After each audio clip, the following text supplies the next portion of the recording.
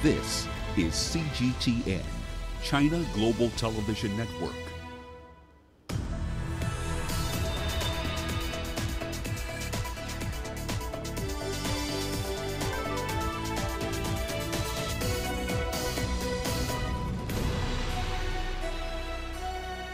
Hello there, welcome to this edition of Global Business Africa. In the next 60 minutes, we'll run through all the business news stories you need to know about from right across the continent. But first, around through the markets. We'll be talking about Jumia in detail in a moment. But if the price of its depository notes at the New York Stock Exchange are a reflection of its potential as the prime poster child for e-commerce in Africa, well, that potential is looking pretty slim. The fallen by over 70% since the listing in April. We'll explore where the market goes from here and if Jumia has a future worth talking about. At the close of the week, Nigeria is the worst performing market here so far in 2019, down by just over 14%. Ghana's main market, not far behind, the composite index over there is down 13% in the red. Here's what's coming up tonight. South Africa's blocked arms sales to several countries in the Middle East. We'll explore why.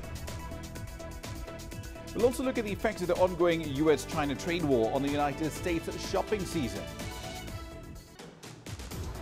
And Zimbabweans are embracing solar power as a country struggling to deal with crippling power shortages. Well, that's and more in the pipeline for you tonight. But let's start the hour in the business of weapon sales. South Africa has stopped arms sales to a few countries in the Middle East. The country has a domestic, homegrown arms sector that exports a range of defense products to over 26 countries around the world, and the United Nations is also quite the client. But it's concerned about where and how these weapons are being utilized. CGTN's Sumitra Naidu starts us off tonight. The temporary embargo stems from a clause in the National Conventional Arms Control Act. Arms sales should not be used for internal repression or violation of human rights. In order to ensure that weapons are not transferred to third parties, South African officials need to inspect these countries' facilities to verify compliance, but they're being blocked. It seems as if South African arms have been used in conflicts in Yemen, for example, especially personnel carriers and mortars, uh, you know, rockets, uh, and sometimes drones. Uh, and this is in uh, violation of third-party uh, distribution um, protocols, you know, in, in, in arms transfers. South Africa's arms industry is worth around $350 million. The largest exports are to the UAE and Saudi Arabia. Two things concern me about it, really. One is a lot of the industry is on the cusp it's not going to survive much longer if we go on the way we're going on. And then we lose it. And to recover it is going to be almost impossible. And the other one is if we really offend Saudi and the UAE, and they pull that $10 billion each investment in South Africa, what's that going to do to our economy? Then the whole plan of rejuvenating the economy and getting job creation going is out the window. But South Africa is now weighing up sales against human rights. It's normally an international law if they enforce the laws, it's actually a good thing from South African foreign policy because it shows it's moving back towards the situation of uh, looking more at human rights concerns and also enforcing uh, international law on arms transfers. And there will be job losses if this continues to be enforced, and especially if the contracts get cancelled. Uh, however, you know, in saying so, uh, there's currently a conflict happening in Yemen. Uh, you know, we've seen over 50,000 people die, hundreds of thousands injured, and so from a, you know, a strict international law, human rights perspective, uh, it's good. The enforcement is very progressive. The real problem in this case, though, is the countries that are being blocked are the main customers for Denel, existing and with future orders. And without them, the bottom line is Denel is going to crash and burn. South Africa now has to decide on whether to save its arms industry or uphold human rights. It recently signed a $4.5 million arms deal with Saudi Arabia. Sumitra Naidu, CGTN, Johannesburg, South Africa. Now, barely 24 hours ago, the e-commerce platform Jumia ceased operations in Tanzania, just 10 days after doing the exact same thing in Cameroon. Now, the company says the move is part of a group-wide effort to refocus operations and resources in other African markets. Jumia, as we speak, is only operational now in 12 African countries, down from 14. The retailer will still run its classified services in Tanzania through Jumia Deals, did the exact same thing, of course, in Cameroon barely a week ago. So then, where exactly does this company go from here? Aly-Khan Satchu, the CEO of Rich Management, is live with me in studio tonight. Welcome back. Ramah, thank you. So Good to see you. The, the, last, the last time we had this conversation, you mentioned that you wished you'd put cash to work in Jumia. Look, before when listing. we spoke about it, we were talking about a different era, a different world, pre WeWork. The market was booming for this kind of thing. Uh, you know, so from a market point of view, we've gone from a, a, a, a, time when every boat that was put in the sea was being floated mm -hmm. to a completely new era. Is, so it, is, it, is it, so do we, do we make this a macro argument? I mean, so let's leave I, I think part aside. of it is a macro argument, right? This is the, that whole unicorn business, the boom, boom days, uh, you know, Masa Son, pumping everything up with steroids. A, a, very different era. This sort of caught on to that Amazon of Africa. They were smart enough to list themselves, and the initial investors were probably smart enough to take some money off the table. So, on a macro point of view, I think you you know you've gone from a boom to a bust in these types of stocks. But having said that, of course, we then had the Citron research report that yep. came after, after you and I spoke together and now it looks um, a very sorry story, and but it's it, told to you in the share price, right? Indeed, a, collapse of what? This is seventy-five. I think we got close prices. to fifty dollars, and we're now something like six. Yeah, six dollars twenty at this point yeah. in time. But Jumia's management when, when they comment about this, because they've, they've, they've kept the communication on this very tight. They're it's interesting, isn't it? The study in communications Precisely, because a, during the listing, it was, let's get out there, let's do interviews, mm. let's talk about the market. They engage in this debate about whether or not they're actually an African company. Now it's a very different story. It's the occasional two-paragraph statement coming out, and they're saying that this essentially is portfolio optimization in our world that basically is code for we're cleaning house. So where's yes. the next domino going to fall? Well, uh, you know, I'm just, I, I'm, I'm flabbergasted. So I think, you know, decisions like Cameroon and Tanzania are probably sensible ones. They probably just are not scaling up at the speed they, they were hoping they would scale up at. They seem to be concentrating on Egypt and Nigeria, big markets, big opportunities. But, you know, they're talking about spinning out Jumia Pay. I think it's going to take more money. I don't think they're going to get to that break-even point quickly. They don't have the firepower to make it, in my view, now. I mean, given the way the market is. I think in the go-go period, they would have raised more capital. They would have done a secondary issue. People have been, would have been still excited about it. But now, I just don't, I don't see how those numbers are going to make up. I was looking at the sort of total sales volume. Mm. Um, the margins are just not there, I don't think. I think you've got to have deeper pockets. They'll be taken over by but somebody. This, but at a fundamental basis, we're going to come back to the yeah. question of, of, of, the defensive play later, but even just at a fundamental basis, before they put up their notes, they'd already burned through $900 million. That's right. By the end of September, they're talking of losses of about 150 million dollars on top of that. So is, and a market capitalization now of what 400 yeah, million? which has basically collapsed. It's, yes. it's worth. It's not even worth talking so, about so numbers, but the execution just wasn't. Well, that's what I think, you know, the likes of Rebecca Enonchong have been criticizing them for and saying actually there were lots of, uh, uh, there was a lot of spin on the execution. It just, the, the execution was, wasn't what was being, what was written on the label. And it's difficult to execute in our markets, Ramah. You know, we're not consolidated European, Chinese or, or US markets. Mm. We're very fragmented just getting the delivery right is so complicated. But there's, there's a counter argument to that, though, and I saw this mm. um, coming up in, in trading circles locally. The argument being that if you're looking at Kenya, for yes. example, or, well, let's leave Nigeria to the equation, but a market like Kenya, yeah. you've got a reasonably functional postal system. It's been running for the better part of six decades. Yes. But isn't the problem here that a lot of these tech firms show up and they say, well, I don't want to work with that. Let me set up something entirely different on mm. my own. And we ignore something that's not as sexy. Yes. But it works. Does it? It does. Oh, yes. Okay. I just haven't had a post office box for years. But you can still send a letter. Yes. You know, It'll still true, get from point enough. A to point B. So that's an interesting point, whether they thought they could just reinvent the whole logistics thing. I think reinventing logistics and delivery is a highly complex task, and I think are people who specialize in that. Someone like Jumia, I don't think had the skill set to do that in multiple jurisdictions. But having said all of that, if you look at the uh, take up of the smartphone, you look at how people are living today, you would have thought there was an opportunity here, but I think it's a long tail, and I think you've got to have deeper pockets, and I think you've got to be able to stay in there for much longer. And I think their fundamental problem is negative equity, lack of cash, and post Citron and, and in this new environment where people really don't have as much faith in that sort of profit type uh, CEO. Blitzscaling model. Blitz scaling model, yeah. you know, pe people don't have the patience. I mean, you've seen that in much bigger companies mm. which have blitzscaled. I mean, take Uber, for example. Huge number of uh, daily trips being made, but people have become much more skeptical.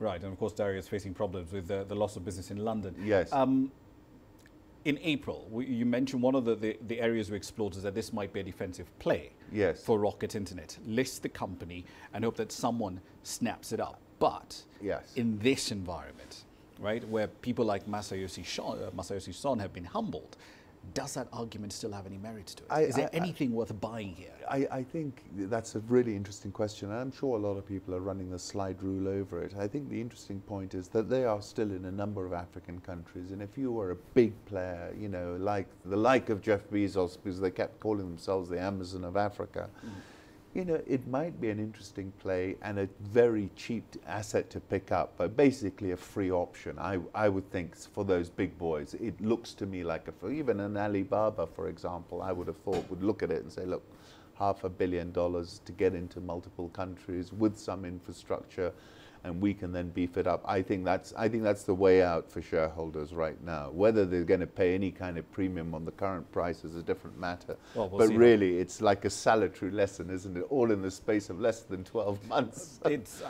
I'm, I'm struggling to find a faster crash in, in, in, share prices. No, and I must say, you did call it. Uh, I was more optimistic. I was seeing a more bullish market at that time, but obviously those days have gone. Well, cash is king. Um, one last question for yes. you. So one of the things that we, we spoke about again in April mm. was okay, now we're seeing um, African businesses, or rather businesses being built in Africa. Let's not call it an African business, that's a separate debate. Yeah. A business being built in Africa, tapping into capital markets in the West. But given what we've seen with Jumia, does this ruin the prospects of any other African unicorn, for lack of a better word, to raise capital in the West? I, I, think it improves the opportunity for indigenous African unicorns to raise capital because people will see that this was truly not an African managed company. It was African in name, it was operating in Africa, but it was it, it, was run by folks out of Germany and all kinds of places. With offices in Dubai. Offices in Dubai. And I think what people are going to say to themselves is we're better off having our management on the ground, embedded in the ground, understanding what's going on. And that's why I think this is actually an optimistic moment for African entrepreneurs.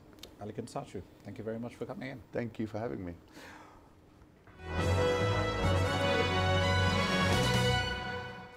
All right, then a quick run through some company headlines for you. Let's start with the utility in Kenya, Kenya Power. It says there will be a further delay in its full year results coming out. That's due to the absence of a new government Auditor General. The state-owned company had been granted an extension uh, to the time it could release the results to the 30th of November. Elsewhere, the international travel agency, the Flight Centre Travel Group, says it will stop selling tickets for South African Airways. That's the first time that the group has had to issue a stop sell order on the national carrier.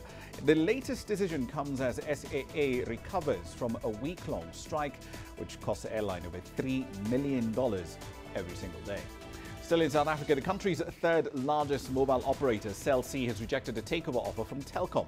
This is not the first time that the 40% government owned Telkom has made a bid to buy Cell C initially attempted to take over the firm in 2017, only to be rejected in favour of a recapitalisation plan led by Blue Label.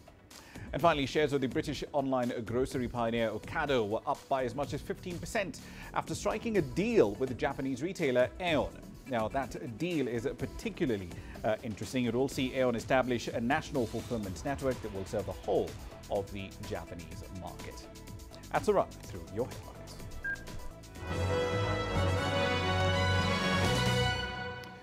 We're 15 minutes into the hour. You're watching Global Business. Here's what's coming up next.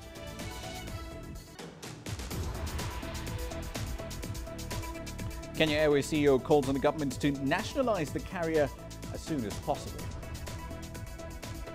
And we'll go into the Karoo. This beautiful landscape has suffered from the worst drought in more than a century. The world economy as we know it is about to change. Global business reports highlight emerging markets, developing countries, and dynamic sectors worldwide. We feature top analysts and newsmakers to provide perspectives on every facet of business. From an on-the-ground perspective, we provide you with balanced and objective assessments. Fast, sharp, and insightful. Global Business. Only on CGTN. Every story starts out like this. Okay. We'll head up now. But beyond the rush of the numbers, there's always a more fundamental question. What happened? Who has been affected? When market moving decisions are made, who's responsible and why? Let's get some reaction on ground. Joining us in Johannesburg is Sumitra Naidu. Hello, Naro. This Well, is how all stories begin. See how they end. Only on Global Business.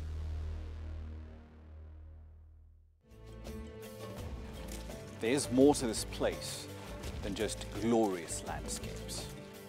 There's more to it than just, say, Table Mountain or glorious, endless salt flats.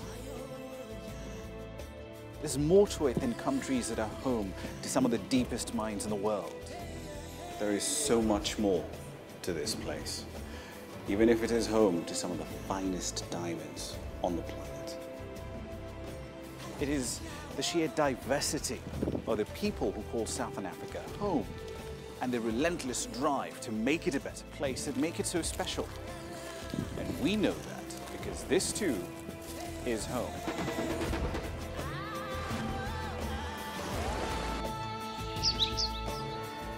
No one knows Southern Africa like we do. CGTN. See the difference.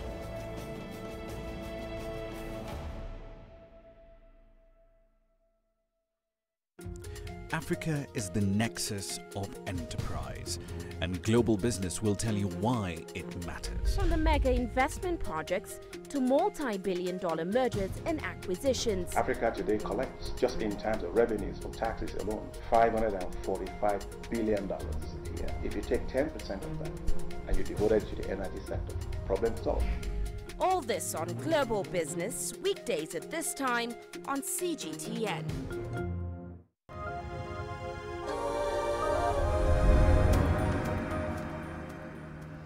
Welcome back to the program. The government is being urged to move quickly to nationalize Kenya Airways. That is according to the carrier's current CEO. Sebastian Mikosz says that if Kenya Airways wants to be competitive, it has to retain its commercial flexibility and avoid some of the government limitations imposed on other state-owned enterprises.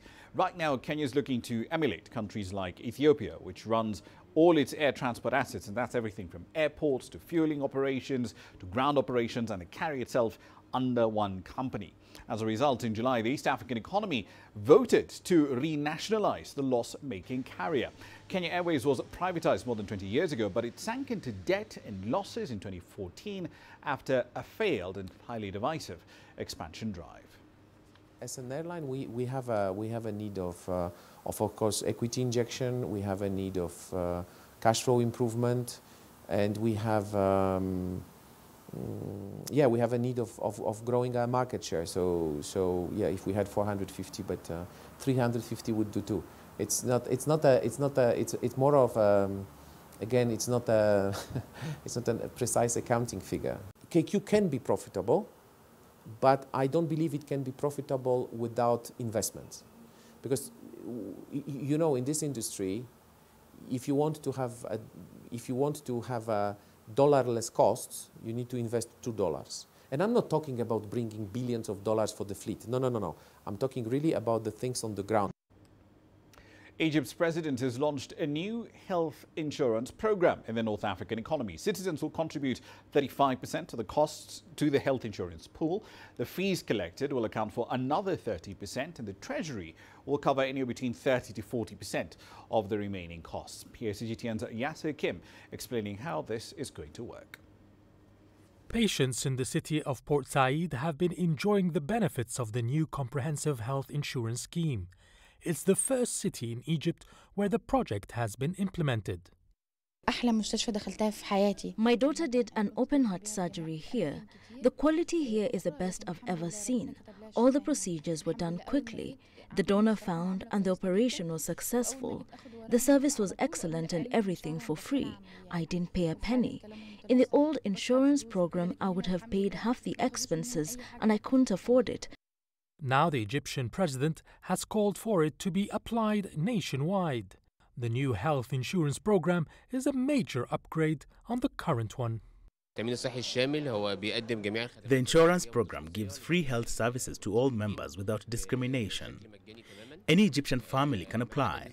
Registering costs are minimal and it covers all health issues, unlike the previous one, which was limited to certain ailments and covers only a fraction of the costs. The average contribution of treatment per person has increased from $11 to $120. It's a costly project for a country recovering from years of economic volatility. There are challenges in implementing the program. Notably, you need an overhaul of the run-down state-owned hospitals to be able to provide the required high-quality services. Another challenge is to encourage doctors to work in the program. You must raise their salaries to make it attractive and provide them with courses and scholarships abroad to get the proper training and experience. For the first time, health insurance will cover all Egyptians, regardless of financial or employment status, as the government will pay the registration fees for those who cannot afford to. Initially, the new health insurance program was supposed to be gradually applied over the 100 million Egyptians in the next 15 years. However, the Egyptian president has now ordered for it to be implemented in half that period. Yasser Hakim for CGTN, Cairo. Now, the Southern African region is currently facing a severe drought that has deeply affected the way of life, particularly in the Karoo. The region's temperatures are rising at twice the global average, and there's no alternative source of water there. CGTN's Ucho Koronko takes up the story. Karoo in the Khoisan language means land of thirst. The region has always been parched, but the residents of its oldest colonial town, Graaff-Reinet, were not prepared for the worst drought in more than a century. As the dry spell continues into its fourth year, tap water has now turned into the color of silt and bears a horrid smell of rotting fish. So these are very, very hardy fish, and it just shows us the immensity of this specific drought. This is a true disaster. In the Karoo of South Africa, and I suppose in all the semi desert areas of the world, God provides drinking water and keeps it in two ways one is in the clouds, and one is underground. If we cannot locate these crack zones on Earth, we will never know where to dig for water. Residents here have now been forced to form queues at overused municipal boreholes. Farmers' animals are also dying in their hundreds after the 46 million cubic meter Nqweba Dam receded. In 18 months, we had uh, 25 moles, and um, and we had it in one month, and with no follow-up rain.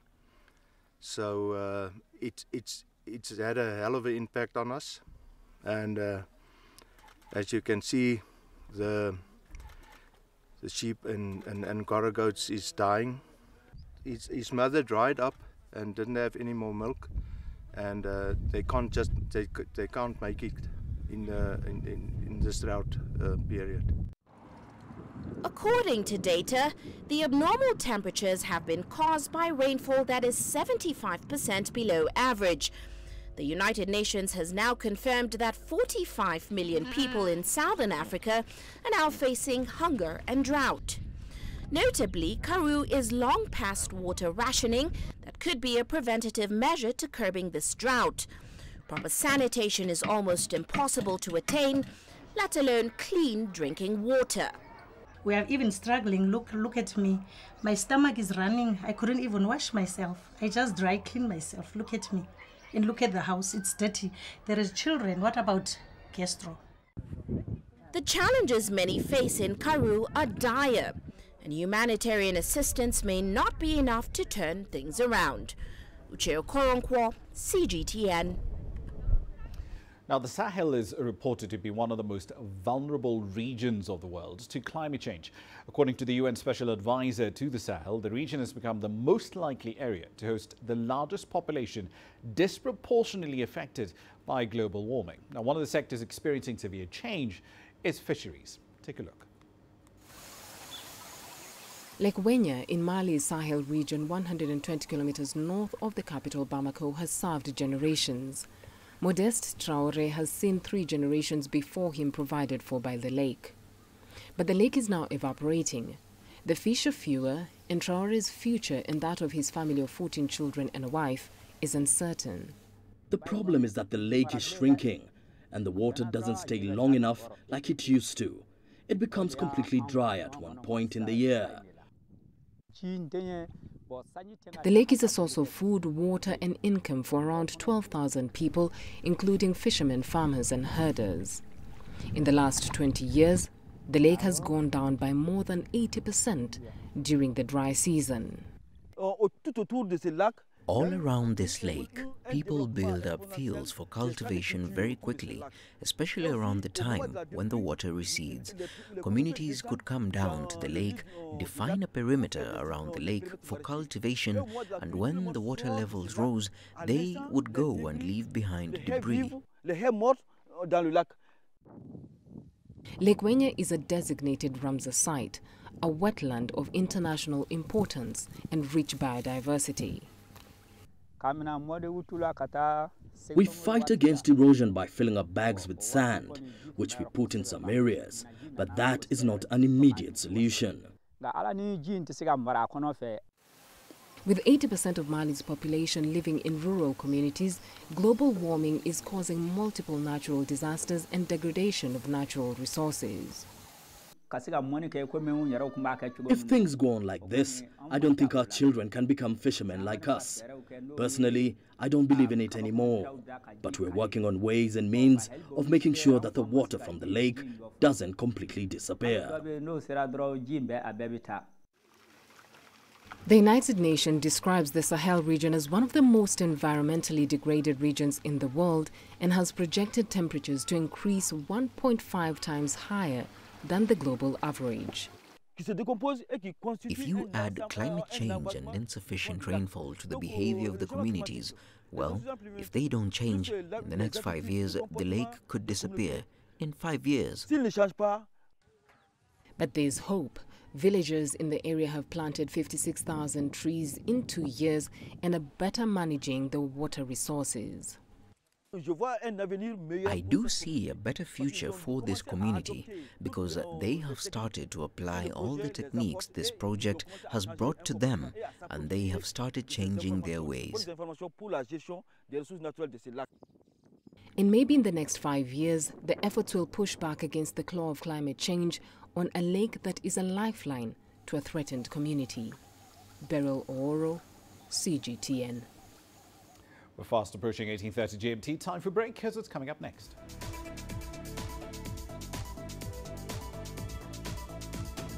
We'll explore how the trade war between China and the United States is affecting the United States shopping season.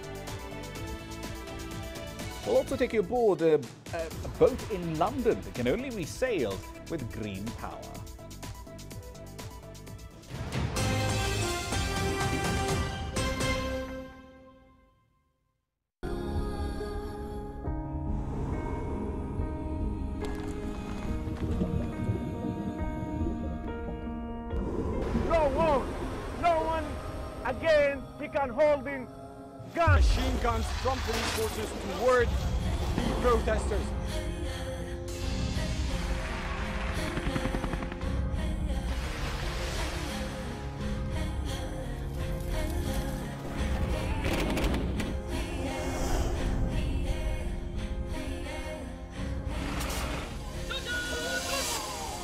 Worried about your life at that particular time? Not at all. Thank you very much for your time. What is your assessment of the state of the continent today? Africa has the potential to power itself. Excuse me.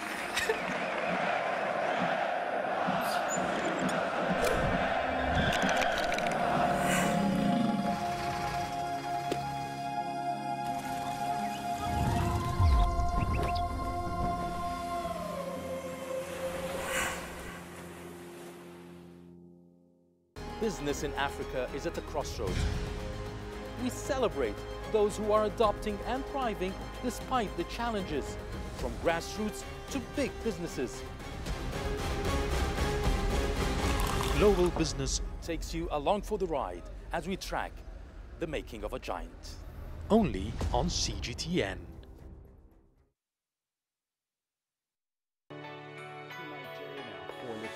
data out of the country. The country's foreign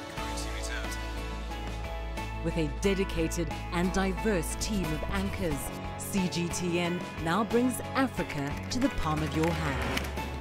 I'm Penina Karibe in the heart of Nairobi, which is bustling. From everyday heroes to the continent's most powerful figures, we bring their voices to you. We haven't changed. And this is something most of us are very excited about. We bring you news that's changing perspectives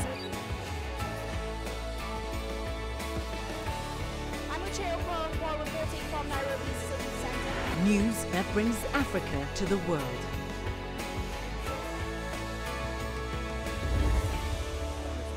CGTN.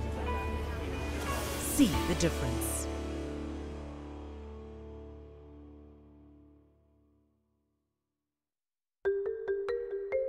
How will your world change today? What happens here? What happens there. Or what you make happen for yourself. If it matters to you, it matters to us too. Your stories are the stories that need to be told. Africa Live. Find your voice.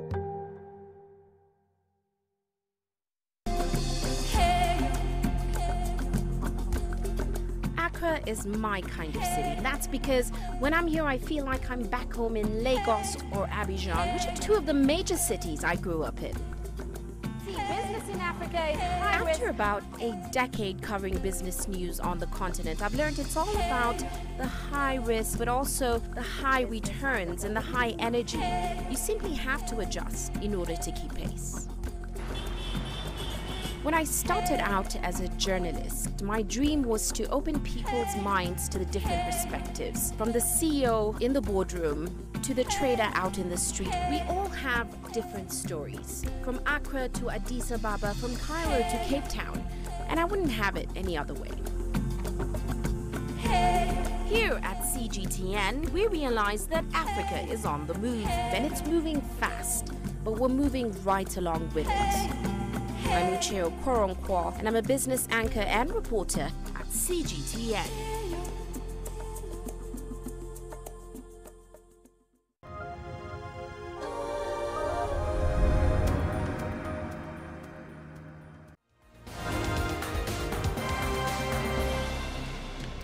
Welcome back. Let's recap the stories making you headlines at this hour. Zimbabwe's government is providing aid to more than a million households in an attempt to avert what essentially is being described as a threat to national security. The country ranks among the topmost food insecure nations outside a conflict zone. Elsewhere, the Sudan transitional government has, apply, has, approved rather a new law that seeks to abolish the party of the former president Omar Hassan al-Bashir. It will also do away with the public order law, which was used for decades to regulate how women could dress. Dismantling of al-Bashir's party was one of the demands by the protest movements. The law also allows the assets held by the former ruling party to be seized.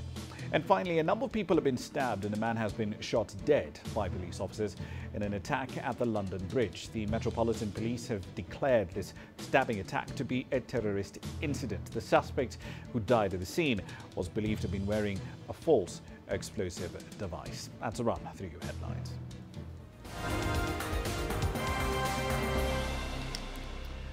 Right, then on to other matters now. The United States holiday shopping season has kicked off, marking effectively the start of Christmas shopping.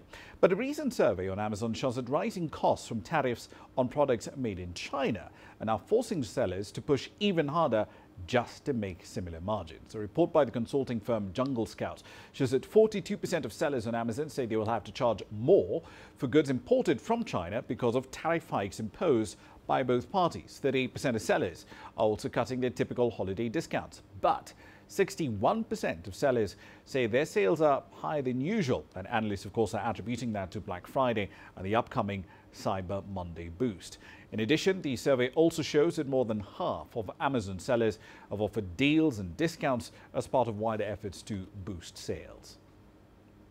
Still in the United States, the country's National Retail Federation expects that the country's retail sales will top $730 billion this holiday season, and travelers are going to be a major contributor to that spending number. The United States usually sees the heaviest traffic during the year end holidays. Data from the American Automobile Association showed that 55 million people will be on the road to travel or to visit their families on Thanksgiving Day alone. That's nearly a 3% jump compared with last year, marking the busiest Thanksgiving in 14 years. Analysts say the roads traveled and routes flown stimulates consumer spending through the holiday season. You know, it's been estimated that seven out of 10 jobs in the United States have some sort of direct or indirect connection to travel. All those roadside attractions and restaurants and what have you, their numbers go up when more people travel. Some traditional holiday events are attracting tourists with more creative ideas. The Macy's Thanksgiving Day Parade in New York presented its partnership with Japanese artist Yayoi Kusama and Netflix cartoon series Green Eggs and Ham. I love them because they're so huge and they look so cool. And do you have a favorite one yet? Snoopy. Uh, we're in New York and we're going to go to the Thanksgiving, uh, the Macy's Day Parade. Other than New York City, Las Vegas and U.S. state of Hawaii and Orlando are expected to be the most crowded with tourists during the holiday season. That's according to online travel platform Trivago. Uh, we're trying to go to Honolulu and um, enjoy the Thanksgiving holidays with our family. Traffic data company INRIX estimated that over 4 million Americans will fly somewhere for Thanksgiving, a 4.6% increase from last year. Meanwhile, American Automobile Association data showed that road travel could increase 2.8% on year. Michelle Vandenberg, CGTN.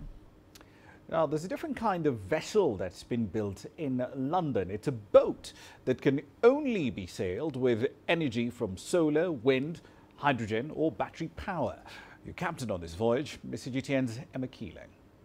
The shipping industry is one of the most polluting. 90% of trade is seaborne, creating 2 to 3% of the world's total greenhouse gas emissions. But this boat is on a six year mission around the world using solar, wind, hydrogen, and battery power in an effort to prove that there is a greener way. I'm Emma Keeling here on the River Thames in London to see if the Energy Observer will be able to convince the maritime industry that what they're doing can be cleaned up.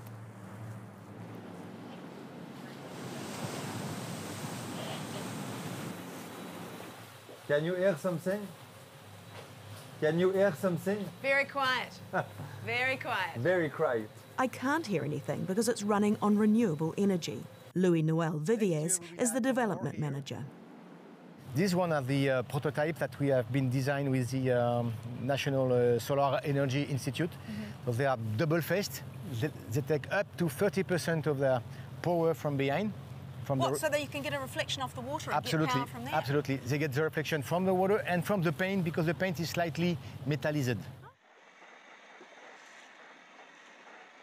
On board, there are four tanks of hydrogen on either side and a set of 112 kilowatt lithium ion batteries that feed the electric motors. Another set of 18 kilowatt batteries power the facilities. So with this energy, we can sail with no wind, with no sun, for about three days and three nights. The hydrogen is made on board by electrolysis, where an electric current is passed through water, producing hydrogen and oxygen. So it was quite uh, tricky because we don't have a lot of space here. And we had to be able to build up this uh, factory able to uh, produce uh, five kilos of pure hydrogen every day. Five kilos of pure hydrogen, it's roughly, it is the same as, let's say, uh, 20 liters of pure gasoline every day. Captain Erussard sees the Energy Observer as part of a greater revolution. I simply wanted to show that it is uh, possible to navigate otherwise. And it is a much more effective way to educate politicians, citizens, and industrialists uh, with a real ship that can be tested and touched rather than uh, a few promising slides of a keynote presentation showing uh, a time in the future. The future must be now. Now, for the first time ever, revenues from esports are expected to surpass a billion dollars this year. Professional esports airs on major sports networks and college teams have seasons filled with competition. Arguably, esports has come of age. As CGTN's Mark New reports, it's increasingly becoming part of an even younger academic crowd, high schools. Ready for this? At Miramonte High School in Orinda, California, the esports club needs to practice their skills. It's basically just to be ready for anything. Team members also study gameplay recordings of their upcoming opponents from Las Vegas. So we're going to make a hole in this wall right here so we have a better angle on this door. So that way when they come from this side of the map, we can, we can see them all the way from this side of the map, shoot them right there. With 45 members, Miramonte's esports club is thriving, despite originally being rejected by school administrators until Steichen changed their minds. I told them that a lot of colleges are actually like giving scholarships for esports now, and it's actually pretty incredible what we have in terms of esports nowadays instead of what they think of it, it is just oh people playing video games in their basement. No. Miramonte's club is one of more than 2000 esports clubs across north america that competes against other teams online in the high school esports league or hsel i caught up with hsel co-founder mason milano via skype if you win a competition with us, you'll be awarded scholarship. We've helped facilitate last year about $16 million in scholarships. Now, outside of that, we have a recruiting base of over 100 recruiters from across the country that pull from our league. With competitions live streamed and recorded, university recruiters watch the action online, looking for esports players fit for their teams. They're going and scouting like they would go to a, a high school football game. If you display you know team building anything outside of just actually playing your ability to be coached your ability to learn um, your flexibility are, are you toxic? Do you get angry? Do you tilt? Uh, those are all big deciding factors High School Esports League has even partnered with a principal and a teacher to come up with an accredited curriculum called Gaming Concepts. It teaches students team building concepts as well as how to deal with online toxic behavior. It's already in a handful of schools, and HSEL says hundreds more are considering it like it or not, there's going to be a lot more jobs related to video games in the future because that's what millennials uh, do. Uh, they, they want more video games. And, uh, and so, uh, in some ways, this is a career preparation for, for the high schools. HSEL isn't the only league in town. PlayVS has raised more than $96 million in venture capital funding and also has thousands of schools competing in its league. All Star Esports League, started by a 17 year old gamer, just received a seven figure investment. And if you look over at something like you know the NBA or the NFL, they have all this infrastructure that they've built up over decades. Esports doesn't have that, and if you create these structures uh, underneath it, you can surface a lot more of the talent. They're there. They're there. They... For Miramonte, studying and planning paid off as their team handily blew away the team from Las Vegas. Still, none of the team members I spoke to envisioned becoming professional esports players, saying reaching that level was just too difficult. Oh, so close. You missed ah. Club President Steichen says what's more important is that players like himself who have never been athletic enough to play traditional sports have finally found an activity where they can utilize their talents and win or lose as a team. That's why we reinforced this wall. Mark New, CGTN, Orinda, California. Now, it's not new that marijuana is getting legalized in an increasing part of the world. For instance, in Colombia, medical grade weed is a growing business. But there's a lack of funding to actually build out the efficient value chain that this sort of business requires, as our correspondent Michelle Begue now explains. Javier Roberto Hidalgo was once literally a student of marijuana, taking courses on the cannabis plant and later giving seminars on the topic. So when Colombia passed legislation in 2016 to legalize medical marijuana use, Hidalgo didn't hesitate to enter the new industry. Not only can we take away that negative image, it might be possible to create a productive company with good salaries and good working conditions, then create a range of products that take away people's pain. In 2017, La Santa Botanicals was created with a mission to grow high quality cannabis for medicinal purposes. With permits in hand, its founders began with a cannabis plantation and slowly ventured into building a pharmaceutical laboratory. The plant's components are used in a variety of products, from pain relievers for cancer patients to oils to curb seizures in epileptic patients. As global investment in the cannabis industry hits record highs, Colombia is getting a large slice of it. That's because Colombia enjoys a prime geographic position to produce quality plants and has a farming workforce already skilled in producing coffee and flowers. De los costos, la luz. On top of the low costs, the numerous hours of sunlight, the different altitudes, and the climate, we have a qualified labor force. It is estimated that we are going to have a higher percentage of cannabis plantations than we do flowers. With many countries now allowing medical marijuana and countries like Canada and Uruguay leading the way on recreational use, the industry is growing fast. A new report by the market research firm Prohibition Partners suggests global legal marijuana revenues could top $100 billion by 2024. International interest in the industry says La Santa Botanicals was critical to get the company started. But while it has outside investment from Canada, it proudly touts it's a majority owned Colombian company. And among its 60 employees, 85% are local farmers. But starting a company in an industry that was once illegal has its challenges. Los bancos. The banks are reluctant, like, wait, what do you mean marijuana? And I have also heard this from investors who are afraid of investing their money in this industry. Attorney Andres Jose Pajon, who specializes in the cannabis industry, says lawmakers did a good job back in 2016 covering all regulatory aspects of this emerging market. Everything is regulated. How to get permits to cultivate, how to get permits to make derivatives, how to get permits to commercialize and export, even to import seeds. I think it is one of the most complete legislations in the world, without loopholes. I think this gives investors peace of mind. And for companies like La Santa Botanicals, the direct foreign investment is needed for things like machinery to help extract the oils used in medicinal products. No, no, no nos we want to create products that will get to the drugstores to help solve real problems. La Santa says it's well on its way to getting there, especially with a new collaborative agreement at Colombia's National Cancer Institute. Michelle Begues, CGTN, Bogota, Colombia. All right, then, on to commodity of a rather different kind. Ahead of the next meeting of OPEC Plus, this time next week, Reuters is reporting that OPEC's oil output has fallen this month, down by about 110,000 barrels a day compared to October. Part of that is because Angola's output declined. Also worth keeping in mind for next week, the final offer price for the Saudi Aramco IPO. We're going to find that out on the 5th of December. It should make for some very interesting conversations around the valuation numbers for that company. Cocoa prices up about 4% or so so far this year. The International Cocoa Organization is forecasting a supply deficit this season of over 20,000 tons. Time for a short break. We're back in 60 seconds. Images may appear to be identical but looks can be deceiving. The difference is not always obvious. It has to be discovered. There are always different sides to a story. We put the focus on the details. To see more, to understand better.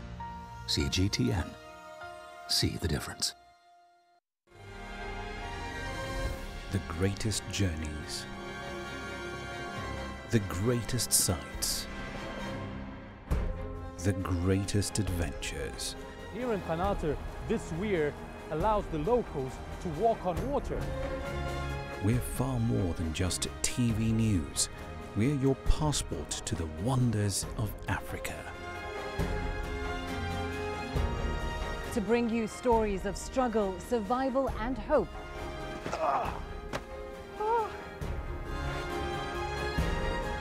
So let's explore.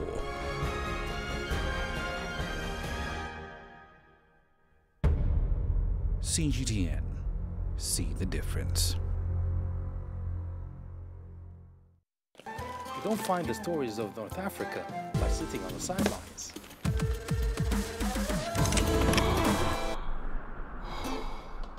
No one else will take you where we can in North Africa. And no one else will show you what it's all about. CGTN, see the difference.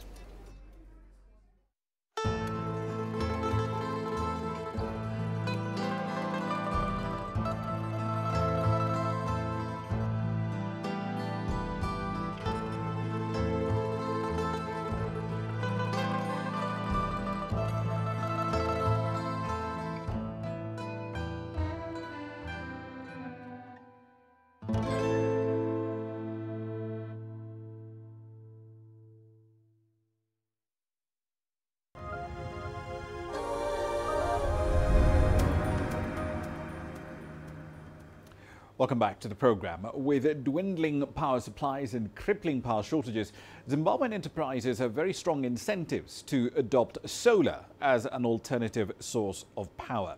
That ideally should also help the Southern African nation adhere to environmentally friendly clean energy targets. Here's CGTN's Farai Mokutuya with the details on grassroots tonight. Intermittent power supplies and weekly increases in the price of diesel for generators have seen solar and battery storage systems change from alternative to main sources of energy for many businesses. Zimbabwe is endowed with abundant solar resources. The, the potential for solar voltaic alone is estimated to be 100 gigawatts.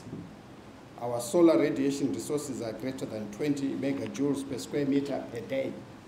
In simple terms, this is 100 100,000 megawatts of potential power that is in existence. Zimbabwe's current peak electricity demand is about 1,800 megawatts per day, a mere 1.8% of what's potentially available from the sun's rays. Government measures to ease duties and potential cost savings over time justify the investment. Bottling company Schweppes Zimbabwe recently commissioned a rooftop solar installation which will meet up to 70% of its power demands. Energy, I was told, is 25% of Schweppes' overhead cost. At some stage, it moved to 40% when they started having to run the generator. So, obviously, by innovating and putting solar, which can last for 25 years, your guess is as good as mine they're probably going to be around for a very long time as a business. The landmark project is the largest rooftop solution in sub Saharan Africa outside South Africa. The 1,560 megawatts of power it will generate will lower the national carbon footprint. This is equivalent to 1,216,800 tons of carbon emissions per year. This is roughly 56,334 trees being saved in one year. Beyond solar, Zimbabwe has potential to generate hydro, wind, and biomass to power industries and homes and leave some excess for export. The government is coming up with policy to harness clean energy sources in a bid to turn the tables on its current status and become an energy exporter. Farai Mokutuya, CGTN, Harare, Zimbabwe. Right, then we started the bulletin in e-commerce and talking about Black Friday as well, so it's only fitting that we wrap up with the same thing. It's that time of the year again when shoppers are looking out for the best deals available online and offline. Here's CGTN's Kelechi Emekalam now, taking you to Nigeria, where some of the country's largest malls and e-commerce platforms are busy trying to woo customers with the most competitive discounts they can. Call it a shopping fever. Nigerians are catching up on US famous holiday sales Black Friday. Bakangizo is a major one stop shop in the Nigerian capital, Abuja. Items from cosmetics to clothing, groceries, pharmaceuticals, and several others all under one roof.